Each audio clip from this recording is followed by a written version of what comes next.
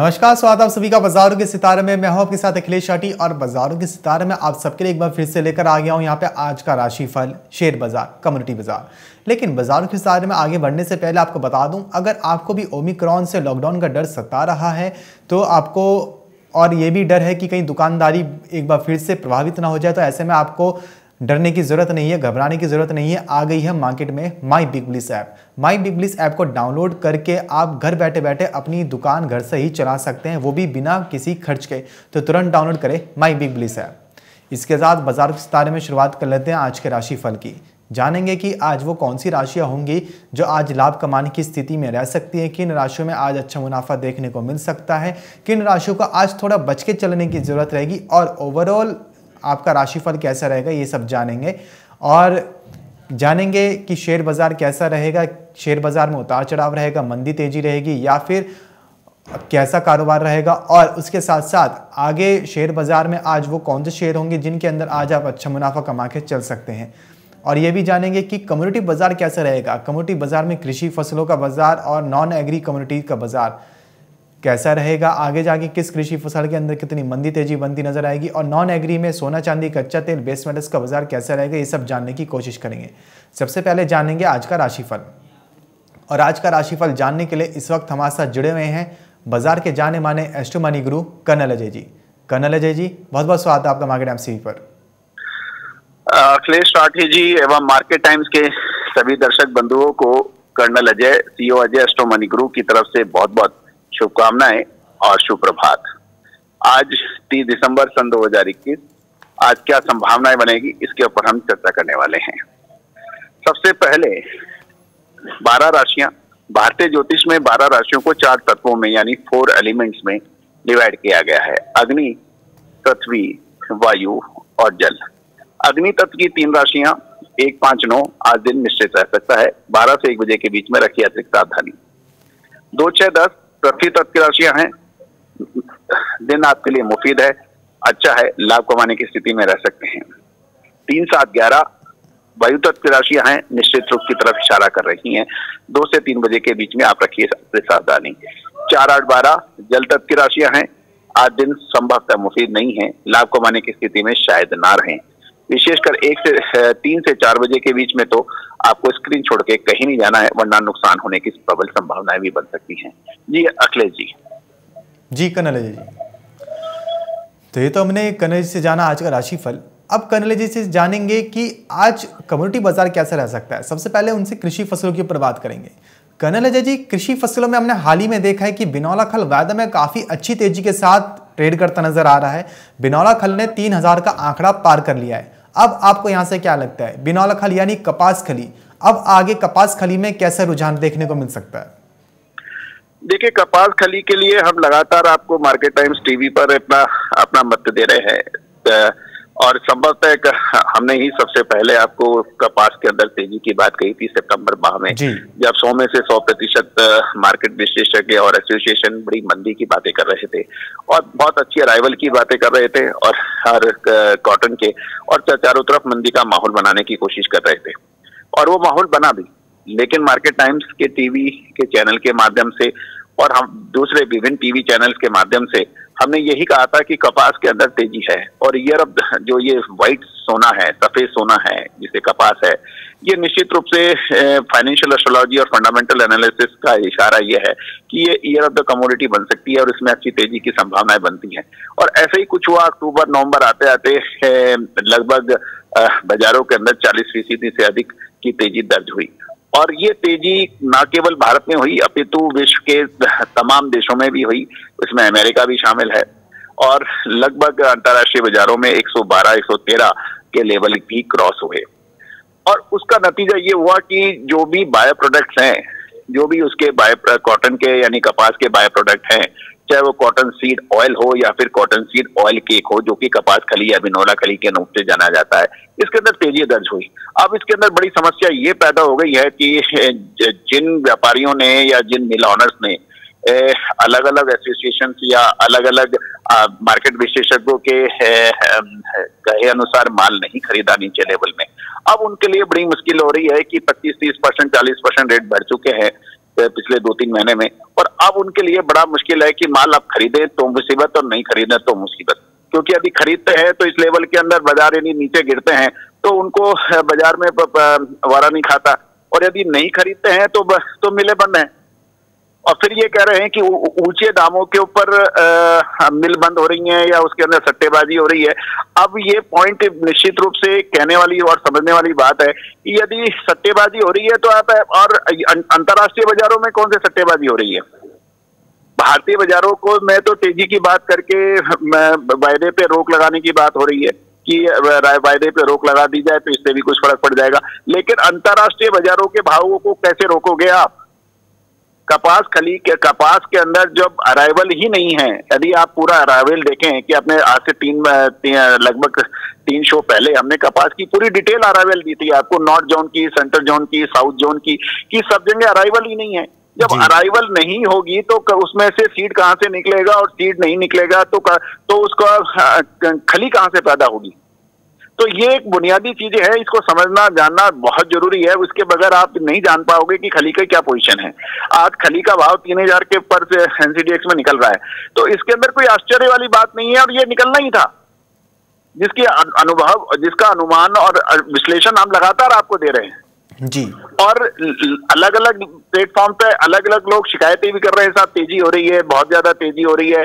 अरे तेज़ी हो रही है तो क्या तेज़ी अंतर्राष्ट्रीय बाजारों के विपरीत हो रही है? सवाल ये है। उत्तर भी बिल्कुल क्लियर है कि अंतर्राष्ट्रीय बाजारों में तेज़ी है।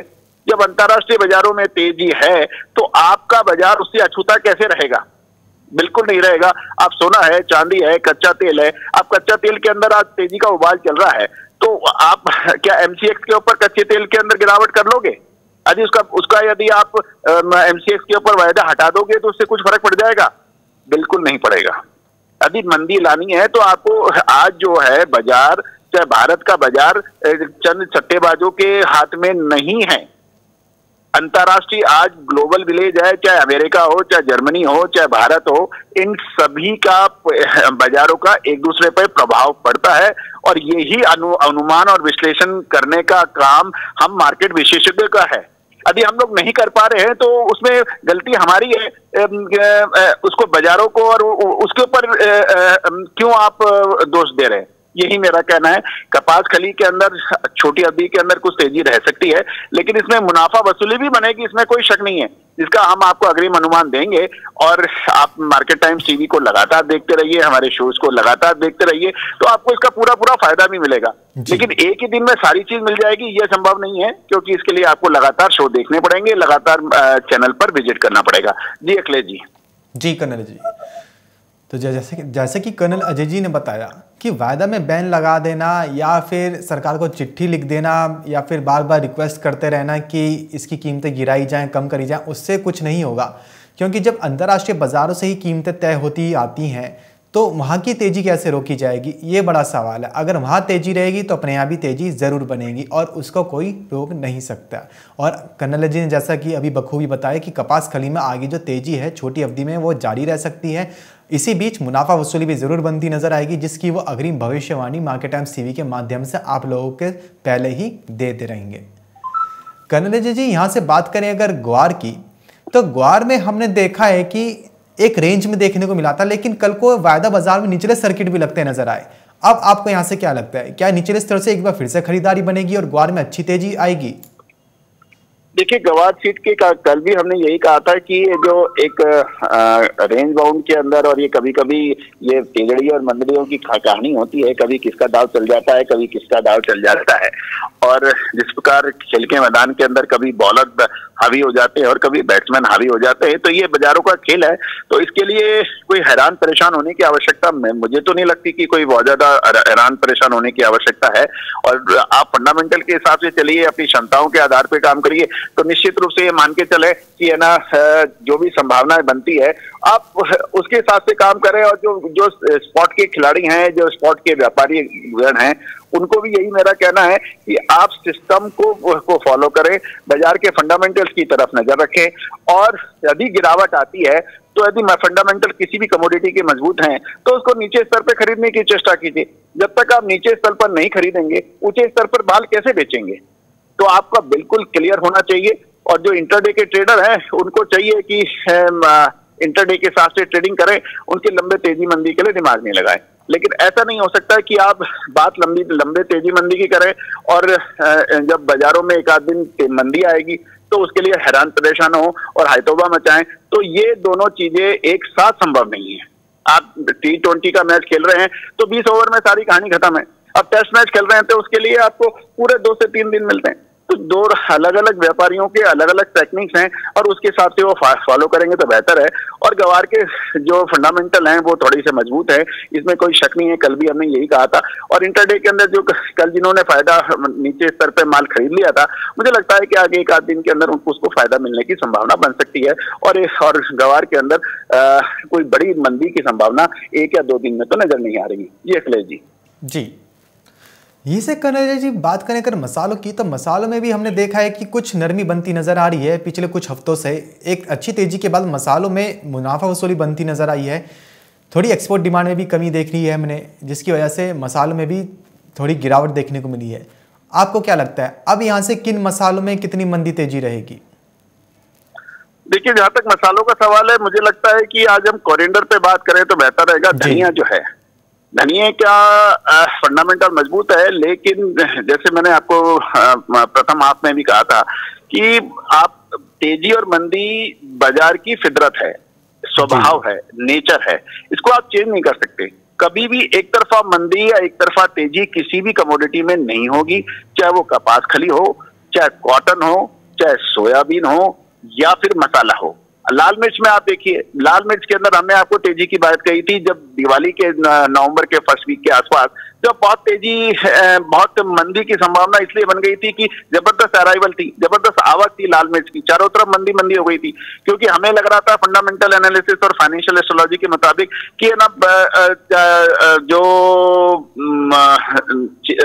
चिली है, लाल मिर्च है वो परफेक्ट टाइम था लोएस्ट भाव के अंदर खरीदने का। और उसके बाद एक तरफा तेज़ी बनी कि जिसको कोई संभालना मुश्किल हो गया। और अब जब तेज़ी बन चुकी है अब सब चारों तरफ़ लोग खरीदने की बात कर रहे हैं तो हमारा कहना यह है कि अब अब आप, आप उसे जब आपने नीचे दर पे माल खरीदा तो एक महीने के अंदर इसको माल में पूरा मुनाफा तो वसूल करो। जब तक नीचे दाम पे लिया गया माल को मुनाफा में कन्वर्ट नहीं करेंगे तो व्यापार कैसे करेंगे? तो यही कहना है कि निचले स्तर पे जो माल खरीदा था उसको मुनाफा वसूल करें। तो लाल मिर्च के अंदर आने वाले कुछ सप्ताह के अंदर हो सकता है कि कमज़ोरी बन जाए और और, और नीचे की तरफ़ रुख चला जाए। इसी तरह से कोरिएंडर के अंदर कोरिएंडर के अंदर भी धनिया में देखो आप सात छह हज़ार नौ सौ से, से चल के छह हज़ार आठ सौ से चल के आठ हज़ार पाँच सौ तक का भाव आ गया। दो हज़ार डेढ़ से दो हज़ार रुपए की तेज़ी आई। तो तो मुनाफा कब वसूल करोगे? जब दो हज़ार पंद्रह सौ रुपए मिल गया है तो आपको उसमें मुनाफा वसूल करना है। और यदि वो नहीं करते हैं तो वो व्यापारी वर्ग कैसे है? जी। तो यही मेरा कहना है कि ये मसाला हो या कोई भी पैक हो ऊपरी जब आपको अच्छा मुनाफा मिल रहा है तो उसके अंदर आपको मुनाफा वसूल करना चाहिए। और यदि आप लगा के बैठे रहेंगे तो हम्म। मुझे नहीं लगता है कि आप व्यापार कर रहे हैं।